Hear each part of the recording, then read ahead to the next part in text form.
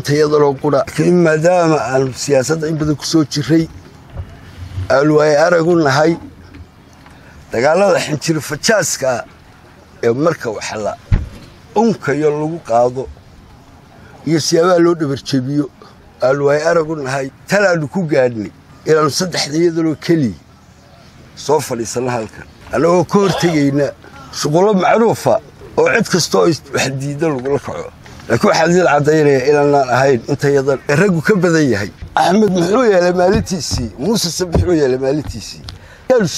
ka baxnay iyadoo lala wada socday dagaalkii annaga iyo xukuumadda naga dhex socday. Shirweyne waa nalaga maroorsaday toddoba xibnoodoo qabsaday shirweynihii. Waa ogedol kalaf baa halkaa ka dhacay shir bay ku qabteen golihii dhexe oo dhan ambasador shirka khaasatan muuse in lagaga takhalusaa la doonayay oo lagu khaarijiyey saddex qof baanu kaga maqlay. Saddex qof ayaanan ku tegi. Aniga muuse iyo maxamed baan tegi. Waxaa dhacday markii meeshii laysu tegey su'aal bay isweydiiyeenoo su'aashiibu axmed siilaayo ixtiraam. War shirka yaa jeergaraynaya shirka golaa dhexe aynu qabanay yaa jeergaraynaya xeerku muxuu qorayaa? Xeerku wuxuu qorayaa. Guddoomiyaha xisbigaa jeergaraynaya guddoomiyuhu xisbigaladoo inagii muuse u dooranay dee shirki maxalaal buu noqonayaa ina kala kaxeeya. Qodobkaasuu ixtiraam axmed siilaayi muusena qodobkaa xeerka ku qoran baa badbaadiyey. Shirkan yaa ku dhawaaqistiisa lahaa inuu ku dhawaaqo xeerkaa dhigaya.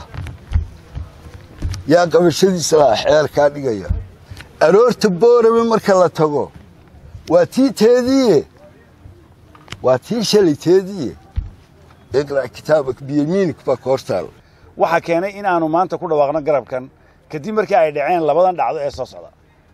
Ta koowaad waxaa dhacay in inqilaab waxaa dhacday in la inqilaabay guddoomiyihii golaha dhexe ee xisbiga master jaacan shabeel iyadoo loo adeegsanayo si qaldan awooddii xukuumaddii uu dhalay xisbiga uu guddoomiyaha golaha dhexe u yahay. Haddii la qoonsaday guddoomiyaha waxay ahayd in lala sugo shirka golaha dhexe boorama dhowaan lagu qabanayo. Halkaasna laga soo jeediyo wixii eed loo hayo kadibna xubnaha golaha dhexe waajibkooda ka gutaan. Laakiin nasiib darro waxaa dhacday in axmed cabdidheere oo aan golo dhexe iyo shirweyne midna ansixin uu soo saaro warqad uu xilkii iyo xubinnimadii iyo xubinimadiiba kaga qaadayo guddoomiyihii golaha dhexe ee lagu doortay shirweynaha ee lagu doortay shirweynaha isaga iyo guddoomiyaha xisbiga oo iminka ah madaxweynaha jamhuuriyadda somalilan. Taasi sharci ahaan waa qalad laakiin waxaa suuro geliyey oo sahlay awoodda xukuumadda ee sida qaldan loogu qabaananayo. Waxaynu canjilnaa dimuqraadiyadda reer galbeedka.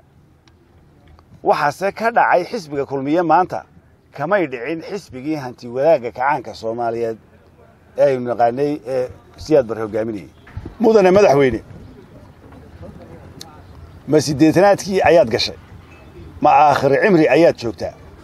Ma kitaabkii ilaahay ayaad gacanta ku saartay ummadda horteeda ma waxaad mucaaradad iyo dhaliil soo taag ma waxaad mucaaradad iyo dhaliil la soo taagnay tan iyo madaxweynihii koowaad ee jamhuuriyadda somalilan cabdiraxmaan axmed cali ilaa iyo madaxweynihii aad xilka kala wareegtay axmed siilaanyo